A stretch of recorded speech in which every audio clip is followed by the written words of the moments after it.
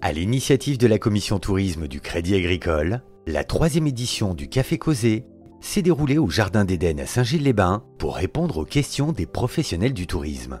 Ce troisième Café Causé, je l'ai trouvé plutôt dynamique, solaire, euh, beaucoup de bonnes énergies, de bonnes vibrations. Les gens ont envie de parler, ils ont envie d'échanger. Eh bien, ce Café Causé, c'est l'opportunité pour euh, l'ensemble des acteurs de la filière tourisme de se rencontrer. Parce que chacun a sa particularité, chacun va discuter de sujets différents et chacun va amener en fait son expérience. Ça reste une bonne vibration, une bonne énergie. C'est ça qui compte. Euh, c'est l'humain qui l'emporte avant tout pour aller un peu plus loin et réussir à mettre le tourisme Réunion en l'air. Avec euh, beaucoup d'envie et euh, la volonté de faire que cette filière tourisme devienne un vrai atout pour euh, les micro-territoires et en particulier aujourd'hui le micro-territoire de l'Ouest.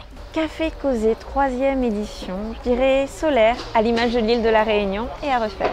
Nous vous donnons tous rendez-vous pour le prochain Café Causé dans quelques mois. Le rendez-vous est pris pour la prochaine édition du Café Causé.